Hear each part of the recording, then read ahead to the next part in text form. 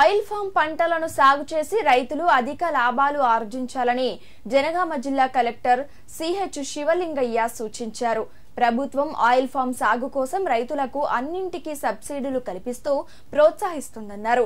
Oil form పంటల సాగుపై అధికారులు రైతులకు అవగాహన కల్పించాలని పేర్కొన్నారు.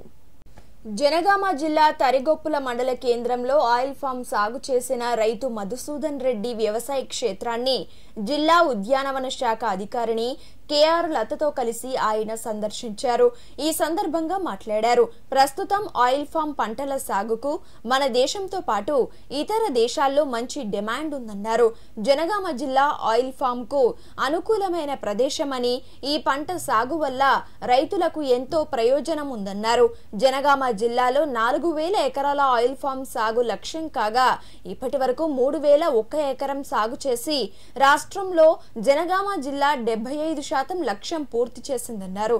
అనంతరం మండలంలోని పోతారం గ్రామంలో నిర్వహిస్తున్న కంటి వెలుగుల క్యాంపును జిల్లా వైద్యాధికారి మహేందర్తో కలిసి కలెక్టర్ తనిఖీ చేసి అధికారులకు పలు సూచనలు చేశారు.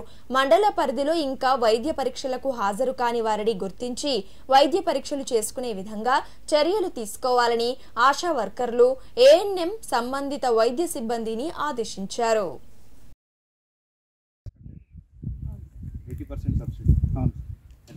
ఎకరానికి పదహారు వేలు. పదహారు. వేలు ట్వంటీ పర్సెంట్. ఎనిమిది వేలు టెన్ పర్సెంట్. అంటే ఎనభై వేలు హెక్టార్. అంతే కదా మొత్తం అయ్యేది యూనిట్ కాస్ట్. మరి ఎనభై వేలు అవుతుంది యూనిట్ కాస్ట్ ఎకరానికి. ఎనభై వేల